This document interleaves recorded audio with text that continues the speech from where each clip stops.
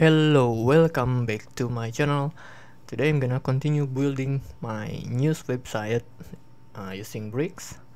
Um, I'm using a lot of a class name for a customized uh, element and if you did if you confused uh, about how do I get a class name where do I store that you can check my videos about uh, this simple tool to generate class name for beginner. It's free tool from uh, in git at github.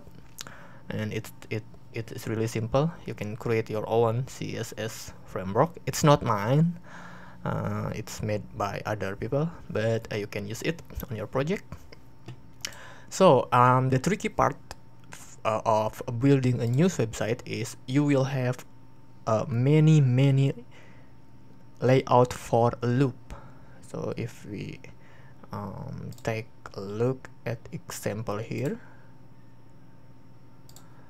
um, we have one layout for query loop we have here two and maybe we have here the, the image on the left and the on the title on the right and we have the three uh, posts uh, three column of posts.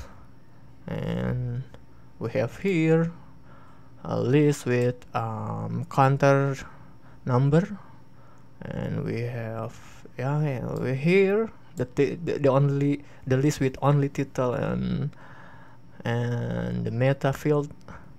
And yeah uh, here we have two two posts uh, two column of a, a, loop a post loop and yeah this the tricky part is is is uh, multiple a lot of uh, layout query.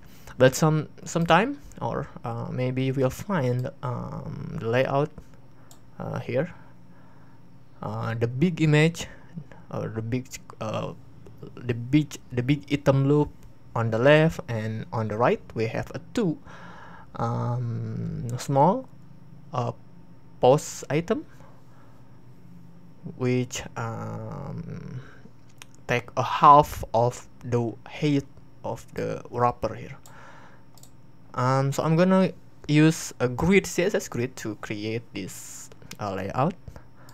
So the plan is I'm gonna use a grid column and the grid row uh, properties as you can see you can uh, read on cssreference.io and it's really cool I think. We need to write our all our own css just a little bit but we can accept something like this. So the plan is i'm gonna use a three uh, column. So it's one two three. So this part is uh, will use a two column and this part is will use a one column. So it's one two three. One two three. And then for the, uh, row I will use two to row so this this um, small uh, post on the top will use one row. And the second uh, the third the, the second post on the small post on the bottom will use one row too. So it will become like this. So the first thing is um, let's add the section and um, let's add padding. And then let's add a div. Um, the div and we will have another div with query loop enable and let's set the post to 3 and then let's add some image. Okay here. And for now I will use the the image which I define not using a dynamic data because it will slow. If you build a, larger a large or many query loop on one page it will slow down I think. I have I, I have uh, many experience um, getting slow uh, getting lagging getting lag slow down on the builder. So um, by using this default image and of course I will change it later to dynamic data which is feature image. Um, the load speed is very much uh, reduced. Okay so we have three posts here. And then what I need to do is I'm gonna add some class name here. So let's say um, um, post um, post what is post layout? Oh loop layout. Let's say loop layout A. Loop layout A. Okay and just save it and let's refresh on the front end. Okay we have three here three posts so it's one two and three. Yeah two in the, but in the, in the bottom. Okay cool. So we have three posts and then um, we're gonna start by let's debug let's create our css is first. Um, display grid. And then grid template columns one one fr one f i forget the fr is is is fracture or fragment. Uh, you can you can uh, uh, read on blog or the website. The definition is fr on css grid okay grid one mm, yep that's cool. And then open your uh, editor and let's put uh, our css you can use uh, you can use the inbuilt wordpress uh, file editor or you can use um, software code editor like uh, me visual code and change the style on the uh, style sheet file on the temp child. Oops okay so what's the name of the class name? Loop layout a. Okay. Loop layout a. Okay. And then this is the first child of the mm, loop so let's say okay here. Okay I'm gonna use the grid grid call where is the grid call here grid call grid row grid call. Grid column no sorry sorry not grid call but grid column. So grid column one three span three. The grid item start before the first column and end just before. I'm gonna use here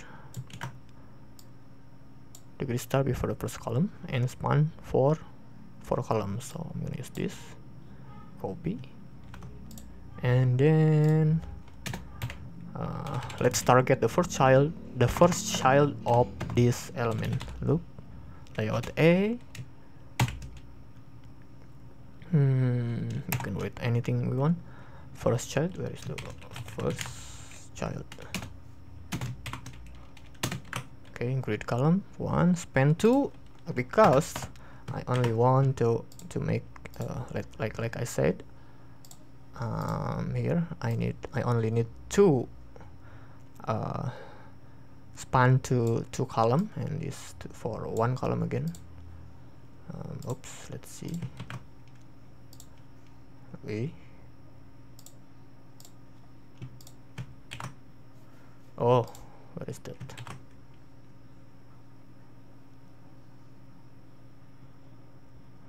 all right all right.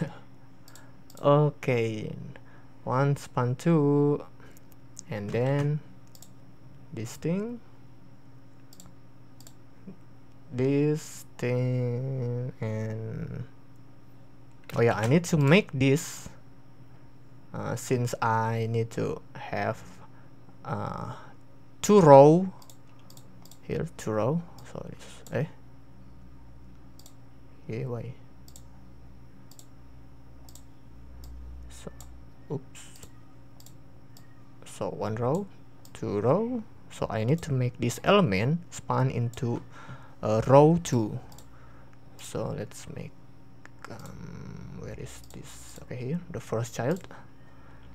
Grid row 1 span. Up one span two again. Okay nice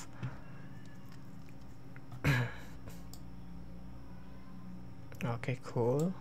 And let's copy here. Oops. Yep something like this. And let's reload. Okay nice. Um, I need some little space. So I need to add some gap. So let's uh, add a gap mm, maybe 16 or 32 okay.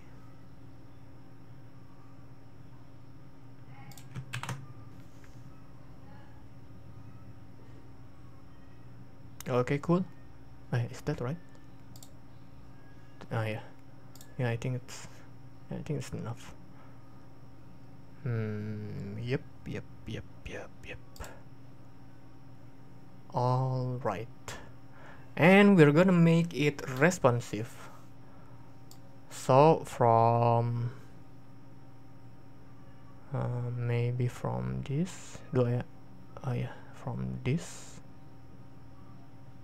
Or 700 yeah I think on 700 the two the two um wait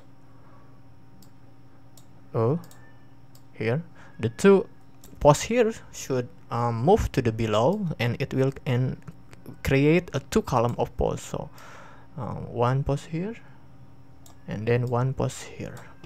So let's um, go uh, create a media query css and i have make it one so max width 700 so i think i will put it here so let's um,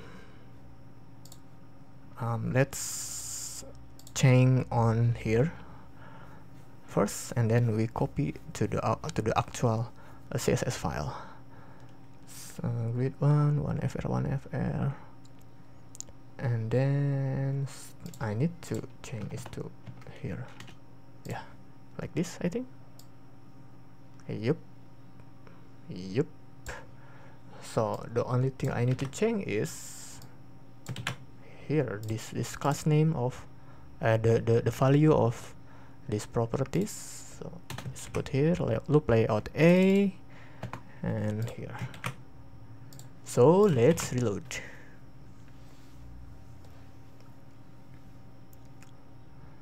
Alright, nice. Okay, I think that's cool. Okay. Yep. So using grid is really um, fun.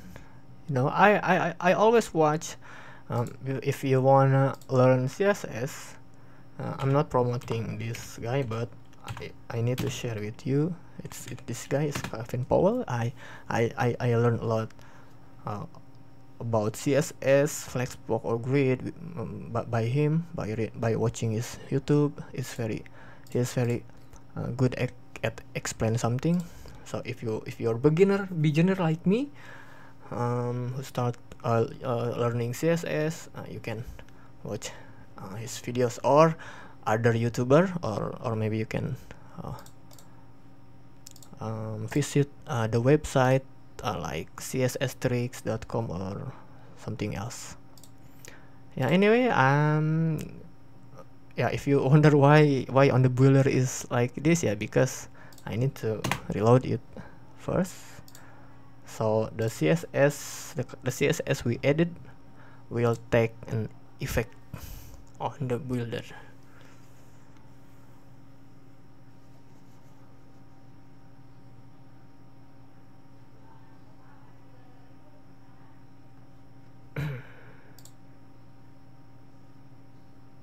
okay.